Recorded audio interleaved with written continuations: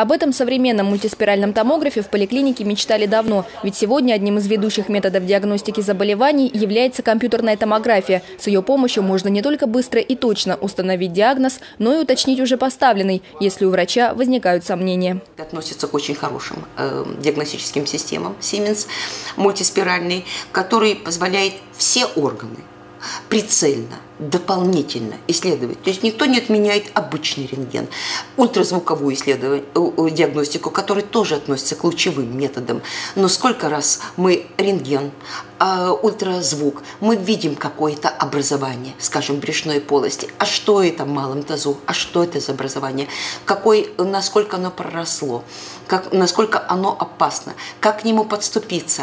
Просто в одном да, изображение невозможно. Аппарат предназначен для диагностики и взрослых, и детей. Главное преимущество перед обычным рентгеном – детальная четкость изображения. К примеру, компьютерная томография головного мозга позволяет врачу увидеть абсолютно все – опухоли, участки инсульта, патологии кровеносных сосудов и многое другое. Процедура занимает всего несколько минут. Для этого пациенту нужно только лечь на специальный стол и подождать. Для того, чтобы определить, если какое-то образование что-то лишнее появилось в организме, это злокачественное или доброкачественное, можно с ним жить или можно удалить э, без всяких ограничений или уже что-то другие предпринимать.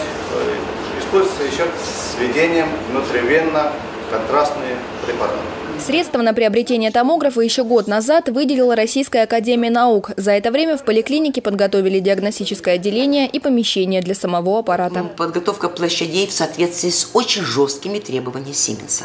То есть представитель Сименса смотрел на этапе подготовки площадей к установке аппаратуры.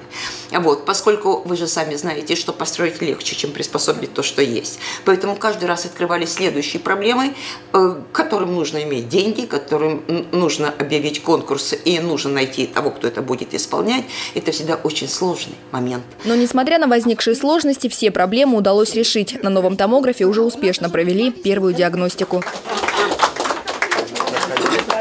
Мария Жукова, Борис Ичмаев, Максим Андреянов, Чигатаун.